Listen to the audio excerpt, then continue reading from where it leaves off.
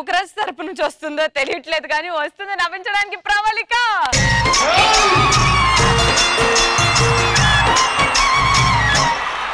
ఓ ముత్యాలమ్మ ఓ మురిపాల కొమ్మ ఓ పున్నమి బొమ్మ ఓ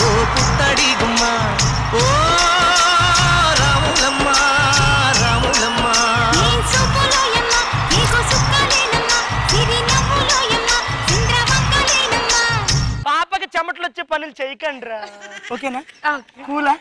కంటెంట్ జాగ్రత్తగా. చేస్తాను. అంత ఇష్టమేందయ్యా? అంత ఇష్టమేందయ్యా? అంత ఇష్టమేందయ్యా నీకు? నా మీనా?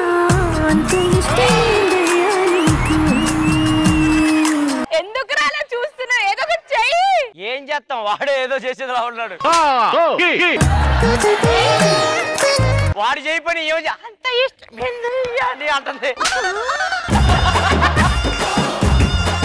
ఏ, చెయ్యకు చెయ్యకు నీ అపవిత్రమైన సో బేసిక్లీ మా డైరెక్టర్ గారు నా దగ్గర కోరుకుంటుంది కొద్దిగా సెన్స్ ఆఫ్ హ్యూమర్ నాకు నలుగురిలో మాట్లాడే సెన్సే లేదు. ఇంకా సెన్స్ ఆఫ్ హ్యూమర్ అంటే కష్టం. తెలుసు మాకు తెలుసు మాకు. నవ్వించడానికి వచ్చాను. అది ఇంకా కష్టం. కానీ మీరు నవ్వకపోతే నేను ఇక్కడ ఉండడం కష్టం. కానీ ఏది ఏమైనా నువ్వంటే నాకు ఇష్టం సో మా అమ్మాయిలు మీ అబ్బాయిలైనా భయపెడతారు. కానీ రెండింటికి మాత్రం భయపడతారు. దేనికి? ఒకటి బొద్దింక చూసినప్పుడు. రెండు ముప్పై బర్త్డే వచ్చినప్పుడు. బేసిక్లీ అబ్బాయి అయినా అమ్మాయి అయినా కోరుకునేది ఏంటి నోకరాజ్ అయితే ఫిగర్ కావాలనుకున్నాడు కానీ షుగర్ వచ్చింది.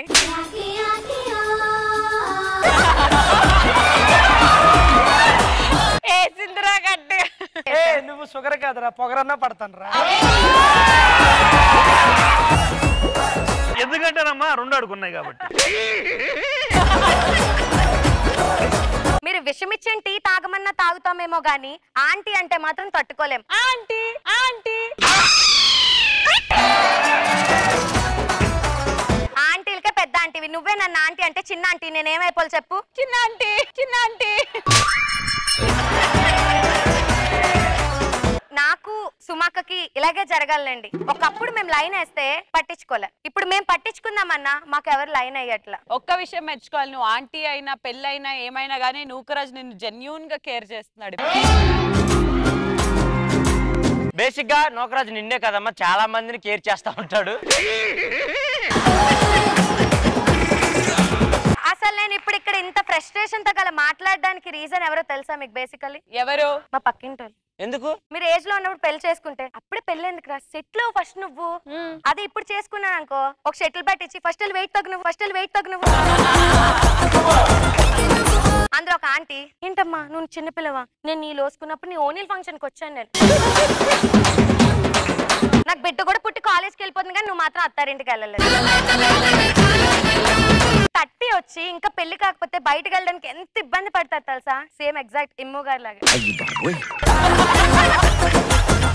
ఫైల్స్ ఉన్నాడు కుర్చీలో కూర్చోడానికి ఎంత ఇబ్బంది పడతాడు? ఇంకా తట్టి వచ్చి పెళ్ళి కాకపోతే బయటకు వెళ్ళడానికి అంత ఇబ్బంది ఇప్పుడు పడతాడు వాడికి థర్టీయా ఫైల్సా?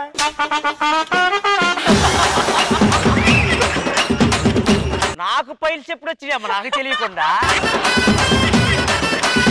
ఏదైనా పెళ్ళి ఫంక్షన్కి వెళ్తే నీ పెళ్ళి ఎప్పుడు అని అడుగుతారు. ఇంకా నయం. దినానికి వెళ్ళినప్పుడు నీ దినం ఎప్పుడు అని అడగల. సో ఇదంతా కాదు. ఎలాగైనా పెళ్ళి చేసుకుందా అని చెప్పి ఆన్లైన్లో అప్లికేషన్ పెట్టాను నేను. మేడం మీరు అన్ఎక్స్పెక్టెడ్గా మీ అమ్మగారు ఫోటో పంపించారు. మీ ఫోటో పంపించరా?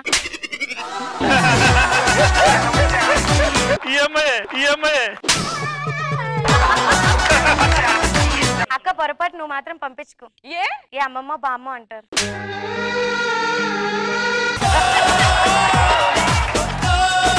నేను అప్లికేషన్ ఫిల్ చేస్తుంటే నేను ఏదో ఫంక్షన్కి అప్లై చేస్తున్నట్టు ఫీల్ వస్తుంది నాకు.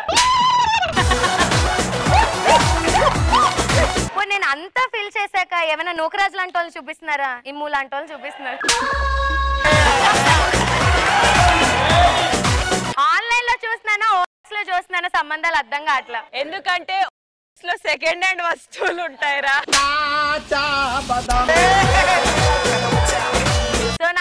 ఫ్రస్ట్రేషన్లో ఏమీ పీకలేక తెల్ల వెంట్రుకలు పీక్కుంటూ కూర్చున్నా. వెరీ అదిరా అబ్బాయిలు బేసిక్లీ మ్యాటర్ కుదిరితే తట్టి వచ్చి ఇంకా పెళ్ళి కాలం వాళ్ళని కామెంట్ చేయకుండా ఉందాం. వీలైతే మీరు తట్టి వచ్చేలోపే పెళ్ళి చేసుకోండి.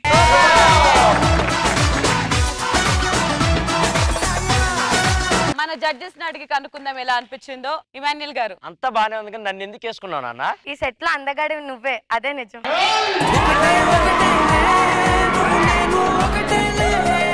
ఎందుకు ఇమాన్యుల్ అంత హర్ట్ చేసావు అంటే ఇమ్ము చాలా అందంగా ఉంటారు కదా తన మీద పనిచేసేస్తే అటెన్షన్ మొత్తం డ్రా అయ్యింది. అది స్టాండర్డ్ అయితే? అది స్టాండర్డ్ అయితే? ఇప్పుడు నువ్వు నూకరాజుని ఎర్రి పప్పని చేసినట్ట? అంతేగా అంతేగా. అది మా వాళ్ళు. ఇప్పుడు మీ అమ్మాయిలకైనా కొత్త ఎప్పుడు ఎర్రిపప్పలనే కదా మీరు అబ్బాయిలు చేసేది. ఇప్పుడు మళ్ళీ ఇంకో అది మా వాళ్ళు కంటెంట్ చేసే విధానం. నేనైతే ఐదు నిమిషాల్లో ఎర్రిపప్ప నువ్వు అయితే ఐదు సెకండ్లు అయిపోతావు. అవసరమా చెప్పు. వాడు ఎరిపప్పే కదా? అవును. మరి నేను? కొండేరి పప్ప కొండేరి పప్ప